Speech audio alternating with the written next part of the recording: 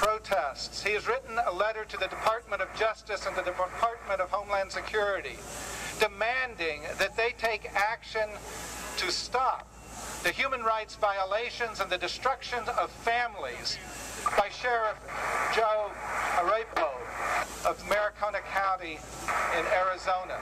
But I need also to say that it is our responsibility to get an immediate immigration reform.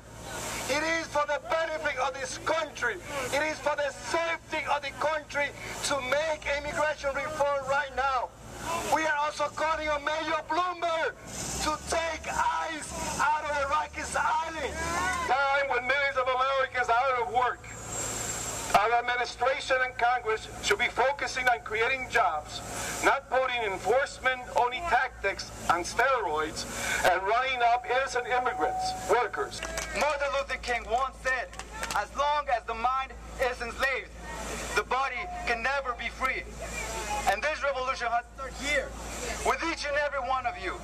As, lo- as long as we see ourselves as immigrants, as long as we see ourselves as restaurant workers who are dependent on the capitalist economy, we will never break free and we will never progress. So today I tell you, my friends, yes we can, and yes we will. The very same country that I put my life on the line to protect the law and freedom of those who say we should not have the right to remain. I say,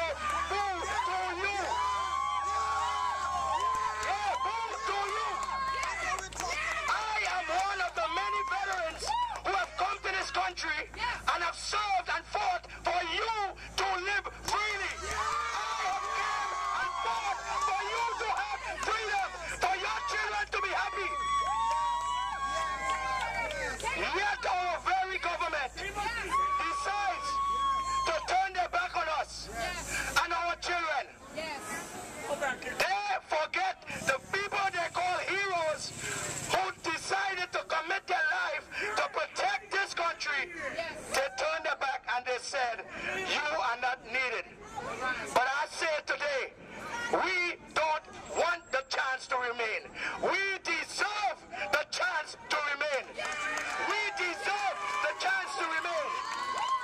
representing Congressman Jose Serrano. He wishes he could he be here with you, but he is in D.C. right now fighting the debt ceiling.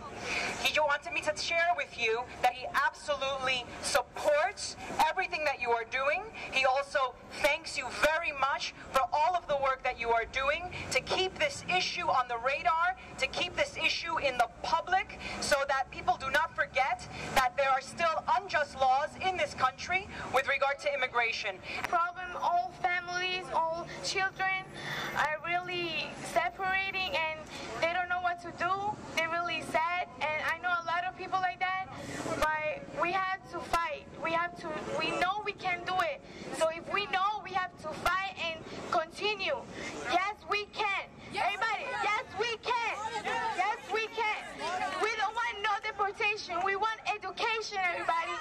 We don't want no deportation. Education, love, and faith. Thank you.